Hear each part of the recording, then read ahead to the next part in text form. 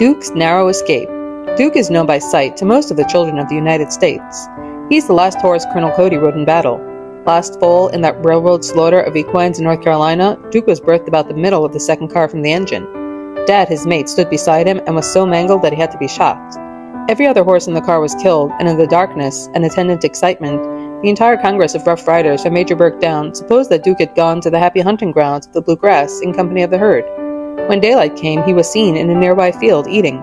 No bones were broken, but the horse suffered all winter from the shock, and for months has been in the hands of the most expert massagist to be found in the United States. The horses of the Wild West winter in Coatesville, Pennsylvania, and Duke was to be taken there at once.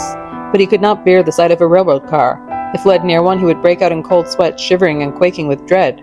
They housed him in the station, feeding him there for weeks, and one night pushed a car on a siding, built an enclosed passageway from its door to that of the station, and persuaded him to walk on board. It is believed that he did not suspect the trick. At Coatesville, he broke away from his attendants and disappeared over the hills, to be found an hour later at the farm, standing at the door of his own stall.